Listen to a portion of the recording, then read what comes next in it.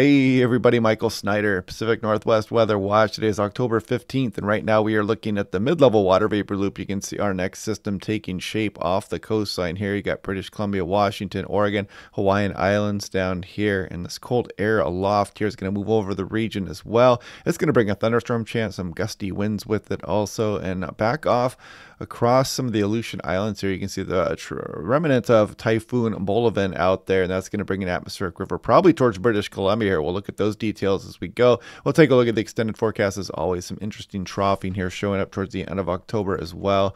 Taking a look at SeaTac yesterday, 62 degrees. That's one degree above average, 400 of an inch of rain. And we're going to add to that total here as we go through the day tomorrow with a decent frontal system, some blustery winds rolling in with that as well. And you can see that here, Idaho, Panhandle, Montana calling attention to that here. This is for Tuesday, October 17th, with that frontal system moving across the area. High wind watch across some portions of Montana out there. This would include Cut Bank, so heads up for that. A gust up to 70 miles per hour possible here if you're headed off to the east. Does not include Great Falls at this time. Here's precipitation totals here Seattle, Washington, and what we're looking at is the Olympic Mountains right here in the coastal areas. You can see some of the Olympics getting up over two inches. Seattle, somewhere between a half an inch and an inch. Same thing for Olympia and Tacoma there. Nice graphic from the National Weather Service Seattle. Sneaker waves possible. Uh, always a good idea to kind of maintain your awareness there when you're around the coastline, all the way up from British Columbia, Washington, Oregon, down through California. And as you can see, National Weather Service Portland calling attention to that sneaker wave potential here today. And I mentioned this one already. Looks like it duplicated that.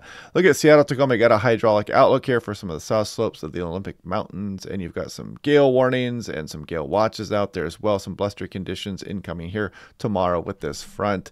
And if you want to save 10% off a nice portable home weather station, makes it so much more fun to watch these systems roll in when you've got a weather station attached to your place of residence. Uh, click on that link down below to save 10%. Uh, looking at 80 meter wind speed here. So what we're going to do here is we're going to scroll through the day today. You can see not too bad. A little bit of a shot of wind there for maybe Vancouver Island as we go through this afternoon and evening. But then you'll see the frontal system approach here, and you can see it impacting Vancouver Island. Some of the coastal areas getting some gusts maybe around 40 miles per hour. You can see the wind pick up across places north of Port Townsend here as well, maybe towards the Whidbey Island area, San Juan's as we go through the morning Monday here, and you can kind of see that wind pick up across some of the waters of the North Puget Sound up through the Strait of Georgia. Coastal areas getting a decent little shot of wind here. No major windstorm, however. And then you'll see the frontal system pass. The wind direction changes here. We bring some gusty winds down the east slopes of the Cascades also. Thunderstorm chance is going to come with this colder air that arrives uh, as well. We'll look at that in a bit of detail here in a moment. Now, taking a look here at the composite reflectivity, here's the NAM3KM. As we go through the day today, you can kind of see this warm frontal feature here. Cold front still well off the coastline here. It's going to be impacting us on Monday. But if we scroll ahead on in through late Sunday night into Monday morning, you can clearly see the frontal system arriving here for Oregon, Washington, Vancouver Island, pushing through the region. Then we've got some unstable air and some showers behind that. And that's going to be bringing our thunderstorm potential. Right now, it exists for southwest BC, western Washington, and northwest Oregon. We'll take a look at that here in a minute as well. On this slide, you can see that does include Portland and Seattle, would include Vancouver, British Columbia also. Now, looking at the European lightning flash density potential here. So if I put this in motion, we're going to go all the way to Monday afternoon, and you can see some of that coming late Monday morning and some of that activity spreading up over the region here as we go through the day Monday. And I'll show you why that's going to occur. Check it out, Cross Whidbey Island there, maybe Skagit-Whatcom County. I can't rule out a thunderstorm as we go on into the evening hours there as well. Now, looking out across the Gulf of Alaska, you can see that colder air. We're looking at 700 millibars, which is about 10,000 feet. And you can see Washington, um, Oregon, and British Columbia here. Now watch this. You can't miss this bowling ball headed for us here, and that's what's going to bring that thunderstorm threat as we go through the day Monday. See that colder air loft, which helps to steepen our lapse rate and uh, creates instability and could bring that thunderstorm threat for us. This is looking at the NAM3 cam, same thing here, 700 millibars, except we got BC, Washington, Oregon here, and we put that into motion. Uh, here we go through the day Sunday, and then you can see the uh, the colder air aloft start to arrive as we go through the day Monday. Can't miss it there moving across some of northwest Oregon, British Columbia, and Washington. Now, looking at precipitable water, so this is that frontal system coming in here. We've got some atmospheric river action going on here. But again, at this time of year, things are mostly beneficial at this point. As you know, we're dealing with drought conditions here across much of the Pacific Northwest. So any flooding concern is going to be, you know, uh, heavily uh, outweighed in the, our need for precipitation. And then we deal with um, ex-tropical typhoon out here, Bolaven, and you can see it's associated atmospheric river pointing at British Columbia and Vancouver Island. A lot of precipitation showing up for some of British Columbia and Vancouver Island, but not a lot of this right now in the models showing that getting into Western Washington or for Portland, for example. And you can kind of see that hanging out and bouncing around just to the north of Western Washington here. So this can also bring some interesting weather here as well. When we get this strong flow, moist, you can get some really cool lenticular cloud formation off the Cascades of Washington here on the south side of this precipitation here where clouds are obscuring the mountaintops. So that might be kind of interesting there. Just a heads up for photographers. And if we scroll out further enough, you can see some interesting troughing here uh, developing across Pacific Northwest, but that's kind of out in fantasy land. We'll take a look at that here in a moment in the 500 millibar chart. Uh, looking at the coastal areas, you can see the atmospheric river potential here. But again, at this time of year, it's mostly beneficial. We're not going to complain about anything too much here. Maybe a little bit of flooding across some of the south portion of the Olympic Mountains in Washington State, but not too big of a deal. Now, looking at the GFS as of last night, so check this out. This is 18,000 feet, and you can see Washington, Oregon here. This is our frontal system swinging through the day Monday, that colder air aloft moving. Then we kind of build this ridge, and that's uh, the, the remnants of tropical typhoon typhoon event out there, and the atmospheric river is going to be pointed here at Vancouver Island. But we've got this ridging building here across a lot of the west as well.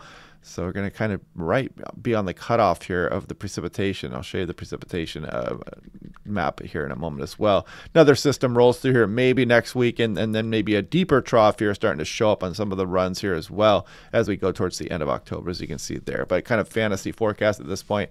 Now, looking at the European, this is 24 hour running total. If we go through the day today into tomorrow, you can see that precipitation occurring. Seattle somewhere around a half an inch. Bigger totals for the coastal ranges, Olympic Mountains, Vancouver Island, Southwest BC.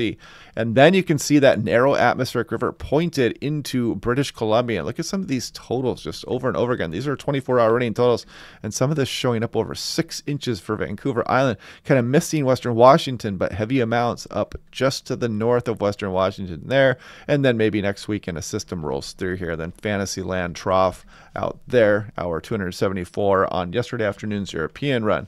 Now, looking at daily 2 meter max temperature as well, we might bump the temperatures up a little bit here as we go this week. There's Monday, system rolls through, and we got some chillier air aloft Tuesday, but we start to bounce back there Wednesday. Check it out. We might get a return towards some of the 70 degree mark here for some of Western Washington, Willamette Valley getting up into the mid 70s maybe. Thursday, another fairly nice day, but there might be some that cloud shield's going to be nearby here. So uh, don't hold me to this one just yet. We'll watch this over the next couple days and try to pin down these temperatures here. Uh, the cloud shield may be nearby here, and it could easily ruin uh, and bring down the temperatures on a fairly warm day otherwise. But then you can see towards next weekend, maybe another system rolling through here and bringing the temperatures down again. Now, looking for this frontal system moving through you can see this is nothing too exceptional. I mean, you might get a gust 35, 40 miles per hour for some of the Oregon, Washington coastline, and maybe a little bit more for Hoquiam there. But yeah, this frontal system system, not too strong, not a big windstorm here, but you'll notice those blustery conditions as we go through the day Monday. And this is Whidbey Island, though, a little bit better up there. Actually, a couple ensembles have things up towards 50 miles per hour, and the control had a few hours there of 40, 45 mile per hour. So, you know, a blustery system up there across some of the Puget, North Puget Sound there across western Washington up towards Vancouver Island as well. And then you can see a fantasy windstorm land out here. You can see some higher gusts up towards 50, but nothing organized at this point. Just something we'll watch in the future. Seattle probably gusting. Uh, actually, the control run at 37, so that's not a bad little gust there. But uh, for the most part, you're looking at 25 to 35 mile per hour range gusts with this frontal system. Here's Tillamook looking about a one inch uh, total here in a 24 hour period as we go on in through Monday night. Little bit of a break there, and then the return of some unsettled weather here as we go towards the end of October. Similar pattern here for, or similar picture here for Hoquiam Washington as well. Somewhere around an inch showing up on the latest European here for this Monday frontal system. Seattle, a little bit further inland, of course. You're looking about, what, seven tenths of an inch here, uh, six tenths of an inch on the control, and then uh, kind of a uh, interesting uh, picture here with some heavier precipitation coming towards the end of the month as well. Portland, something similar there also. The last control run had six tenths of an inch in a 24 hour period with this Monday frontal system.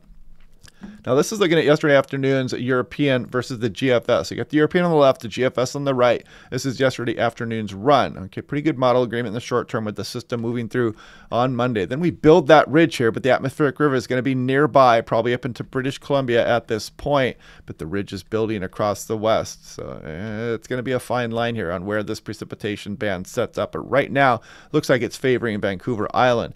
Then next week, you see some semblance of a system rolling through the Pacific Northwest here. And then you can see the GFS going to open up this trough here across some of the Intermountain West and Southern California there, and the European kind of showing a, a chillier uh, upper level low dropping right down across Pacific Northwest. So that would be kind of interesting there, but purely a fantasy forecast at this point. And then once we go out far enough, course, things get just all kinds of chaotic as you can see a ridge versus some troughing here and not much agreement in the models. Six to 10 day or uh, precipitation outlook here. You can see some below average here across the southwest, maybe some of the Pacific Northwest above average through this time period coming up. Six to 10 day, you can see the signs of that ridge building here along a lot of the west coast. And this is the drought monitor. If we look here, you can still see we have some extreme drought still across western Oregon and Washington and hopefully we can you know put a dent in this here with uh, tomorrow's system rolling through here. So yeah take a look at that. And you can actually click in and look a little bit closer here, and you can see that the Seattle Metro has been um, we've we've improved some here. Abnormally dry there, Kitsap Peninsula there also, but you can see if you go from the foothills across some of the Cascades and the Cascades themselves, you can see there still some extreme and severe drought out there. But surprisingly enough, some of the Columbia Basin there and maybe what Ellensburg out there as well, actually not in drought currently. Anyway, yeah, there's that ex-tropical uh, typhoon Bolaven out there south of the Aleutian Islands. There goes our frontal system Monday. The cold air behind it brings some thunderstorms in here.